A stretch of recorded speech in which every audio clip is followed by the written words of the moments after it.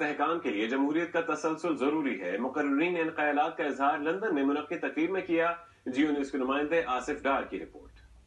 روسی انقلاب کے سو سال مکمل ہونے پر ترقی پسند برٹش پاکستانیوں کی تنظیم لوگ فاؤنڈیشن یو کے کے زیر اہتمام ایک تقریب کا اہتمام کیا گیا، جس میں برطانیہ بھر سے دانشوروں اور کامریڈز نے بڑی تعداد میں شرکت کی۔ مقررین نے انیس سو سترہ میں روس میں آنے والے انقلاب کو غریبوں اور پسے ہوئے طبقات کے لیے نجات دہندہ قرار دیا اور کہا کہ اس انقلاب کے ساری دنیا پر مثبت اثرات مرتب ہوئے۔ بدقسمتی سے پچھلے ستر سال میں ابھی تک ملک کے اندر پارلیمانی جمہوریت ہی قائم نہیں ہو سکے۔ جتنی بھی رچت قوتیں ہیں انکلوڈنگ فوج انکلوڈنگ ایون جوڈیشری وہ کہتے ہیں یہ سوشلسٹ ہی کہتے تھے۔ روس میں جو سوشلزم کا ایک تجربہ تھا وہ ناکام ہو گیا۔ دیگر مقررین نے کہا کہ انقلاب اور معاشی و معاشرتی تبدیلیاں لانے کے لیے خواتین کے کردار کو نظر انداز نہیں کیا جا سکتا۔ دنیا میں کوئی بھی تبدیلی آئی ہے عورتوں کا بہت بڑا رول رہا ہے۔ روشن خیالی کے علاوہ دنیا کے اندر مسائل کا اور کوئی حل باقی رہ نہیں گیا۔ حالات ہیں دنیا کے اس میں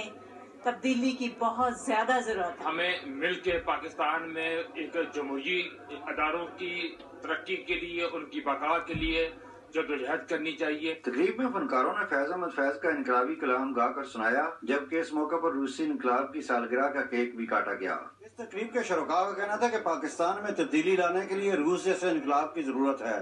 Asif Dar Geo news London.